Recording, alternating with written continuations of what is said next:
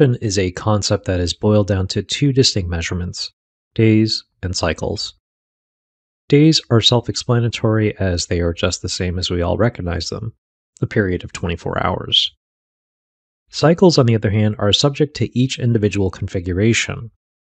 Command Center defaults this to one cycle for all plans with further customization available in the CommCell console, something we'll briefly touch on here later. Commvault defines a cycle as any period between two fulls. While Commvault plans don't display any form of configuration relating to cycles in Command Center, a control plane's retention is completely policed by the availability of cycles. So let's illustrate this distinction by comparing two different environments. The same Chicago customer we profiled back in our first module had a 30 day need to keep their data on site. At this site, they're able to run fulls every single day without any concerns at all.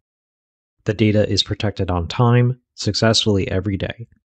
We mentioned before that a cycle is defined by the period between two fulls, so by definition, not only will Chicago eventually have 30 days worth of backups, but once day 31's backup completes, we are free to remove the oldest backup because that would still allow us to maintain the 30 days as asked. While this configuration may not be ideal for multiple environments due to logistics like bandwidth availability, for example, this is the simplest form of retention configuration that can yield potential space returns on a more relatively frequent basis.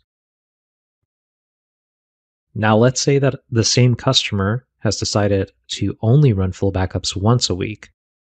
By definition, this would imply that a cycle in this configuration would be a total of seven days. This is key to understanding how data retention works, as this changes how often data can qualify for aging. In the same configuration of 30 days worth of retention, when we hit date 31, we cannot simply delete the first day of data. In between fulls are incremental jobs that build off of the last full ran in the environment. Without the full within that cycle, incremental backup data is useless on its own, so we would have to age in multiples of 7, the amount of days each cycle has been defined for in this configuration.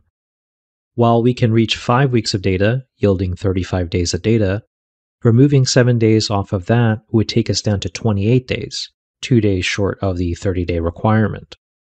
In reality, this would taper off into retaining upwards of 42 days of data, and as little as 35 days of data due to the weekly scheduling of fulls. This concept is crucial to understand in design as one could inadvertently bog down an environment with more data than expected, leading to storage related concerns prematurely. Consider retention structure and the frequency of fulls to avoid the scenario of your customer running out of space faster than expected.